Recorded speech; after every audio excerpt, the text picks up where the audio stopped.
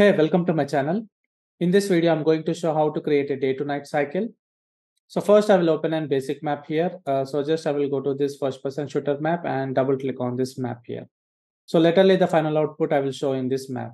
So just I will double click and after opening this level, uh, we need to go to this outliner and we need to select this directional light. Uh, so in this directional light, we need to go to this details panel and here the mobility, we have to set it to like movable. So as we are doing the day to night cycle, so we need to move the light source from one position to another position. So in order to do that, we need to set this option to like movable. So defaultly it will be like stationary. So you have to set it like movable.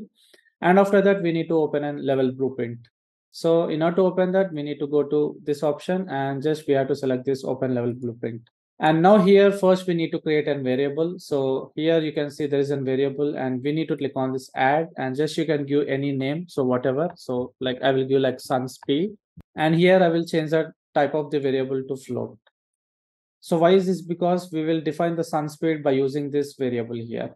So just we need to drag this into the blueprint and just we need to select this get, get sun speed. And now we need to take another node. So event tick. So just we need to select this and take a multiply node from this event tick. So just we need to drag this and we need to take a multiply node. So select this. And now we need to connect this sunspeed to here. So just we need to select and drag here. And see now whenever we select uh, here we are getting the sunspeed option and also make sure you have to compile this. So just let us let us compile. And now here you can define the sunspeed. So for time being, I will put it to like 10 or something. So we need to take another node. So just we will drag from here and we'll take a node called make rotator. So just we'll select this. And now we want to rotate the sun in the y-axis. So we need to select the, we need to change this connection to the y-axis. So in order to disconnect, just we need to alt left click and we can drag from here to the y-axis. And now we need to bring the directional light to in this blueprint here. So in order to do that, we need to go to this like outliner and make sure we need to select the directional light and we need to press tab here. So create a reference to the directional light. So need, we need to select this here. And now we need to get the local rotation of this light here. So in order to do that, we need to take one node. So just I will drag here and create a node called add actor local rotation. And now what the thing is uh, from this make rotator, we need to connect this, uh, connect to this node here. So just we'll select this and we'll connect to this delta rotation.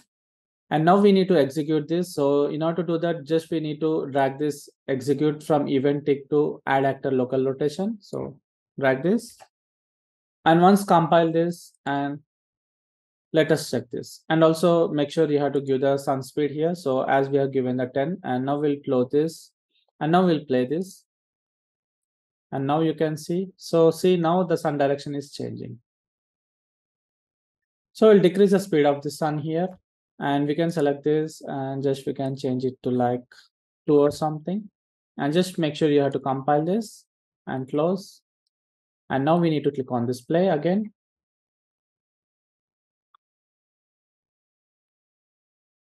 So now see it's slowly changing the directions of the sun here.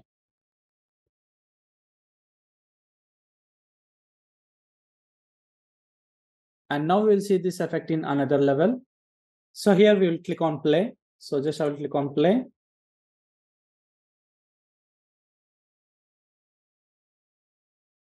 So that's it for this tutorial. Please subscribe to my channel for more videos.